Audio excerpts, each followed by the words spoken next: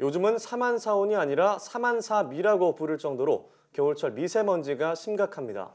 아이가 있는 집에서는 미세먼지 예보가 나오면 나가서 놀게 해도 될지 고민이 많으실 텐데요. 미세먼지에 대한 국민들의 질문에 전문가와 정부가 답하는 자리가 마련됐습니다. 양회영 기자가 다녀왔습니다.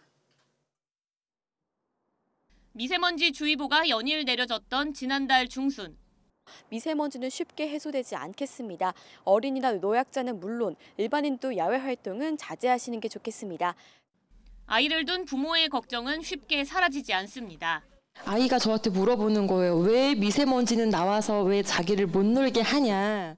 교사의 입장에서는 아이들을 데리고 나가는 게 맞는데 아침 8시가 되면 부모님들이 전화하기 시작하셔요. 저희 학부모님들은 너무나 많이 불안해한다는 거죠. 심각해지는 미세먼지에 대한 국민의 궁금증을 과학기술 전문가와 정부가 풀어주는 자리가 마련됐습니다. 우선 전문가들은 현재 미세먼지가 어떻게 생기는지 연구하고 있다며 발생원에서부터 미세먼지를 줄이는 방법을 개발 중이라고 설명했습니다.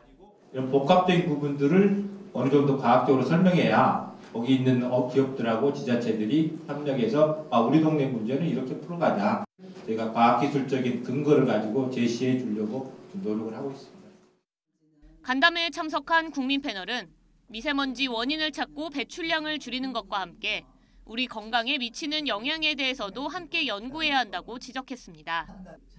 국민의 다양한 질문과 제안에 정부는 깊이 공감한다며 관련 내용을 정책에 반영하겠다고 약속했습니다. 국민들이 원하는 답은 아주 클리어하고 아주 급합니다. 이제 국민생활연구는 그 결과가 아까 국민들의 그 질문에 답을 할 수 있어야 연구가 끝나는 것이고 그 질문에 답을 하면 해야 연구 결과가 성공인 것입니다. 정부는 앞으로 3년 동안 예산 400여억 원을 미세먼지 문제 해결에 쓰겠다고 밝힌 바 있습니다. 또 국민 삶의 질과 직결된 문제인 만큼 미세먼지를 줄이는 각종 신기술이 현장에 바로 적용될 수 있도록 지원할 방침입니다. YTN 사이언스 양우영입니다.